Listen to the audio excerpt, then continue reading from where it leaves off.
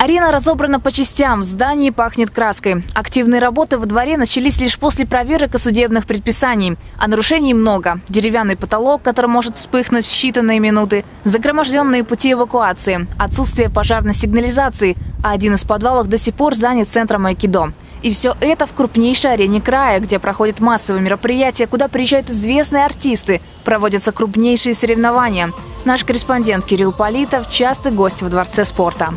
Я пошел на концерт группы «Руки вверх» и решил проверить, работают ли выходы и входы Дворца зрелища спорта. Оказалось, что та сторона, которая выходит на стоянку, это где за кассами, по-моему, туалеты на гору, да, она была закрыта, элементарно была закрыта. Я так представил, что посчитал примерно 6 тысяч 7 человек на концерте группы «Руки вверх» сейчас в данном, в данном месте находятся. И те выходы, которые открыты, это центральная часть и та, которая выходит на спортивный комплекс ОП, она не в состоянии справиться с тем потоком людей. Уже несколько лет ледовую арену дворца арендует хоккейный клуб «Алтай». Спортсмены боятся лишиться своей постоянной площадки. Альтернатив в регионе немного. Но в администрации края заверяют, что поводов искать новое место для тренировок пока нет. Мы ждем подписания договора со школой и с клубом на этот сезон.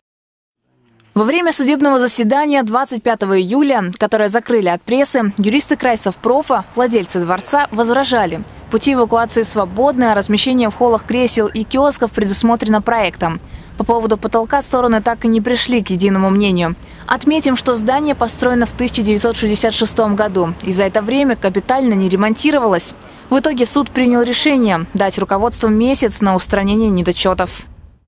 Все те предписания, которые выписаны, срок исполнения на один год. Мы должны их исправить.